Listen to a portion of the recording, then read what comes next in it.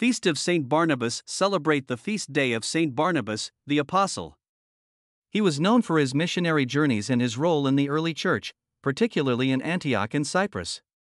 St. Bartholomew the Apostle commemorates St. Bartholomew, one of the twelve apostles of Jesus, who is believed to have preached the gospel in India and was martyred for his faith. Pope Innocent XI's election on June 11, 1676, Pope Innocent XI was elected as the 240th Pope of the Roman Catholic Church, remembered for his reforms and piety.